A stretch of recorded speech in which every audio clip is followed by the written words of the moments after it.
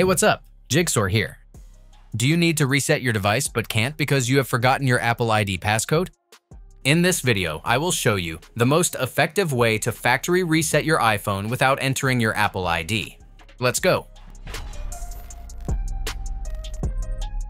Contrary to what you may have found online, all is not lost if you can't remember your Apple ID credentials.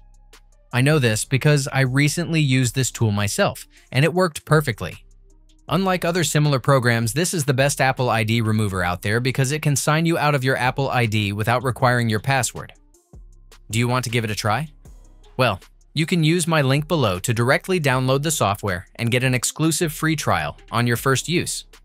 After you install the program, connect your device to your computer using an original or an MFI certified cable. From the dashboard, you're going to specifically use the Remove Apple ID feature. Then choose the Remove Apple ID completely option and click Next to start the process.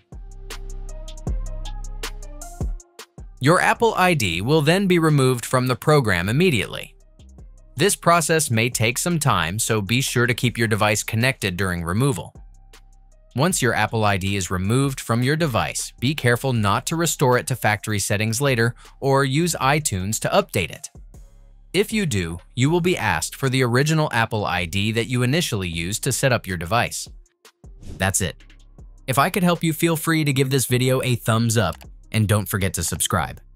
If you have any questions about the video or want me to create a tutorial about another topic, leave a comment below.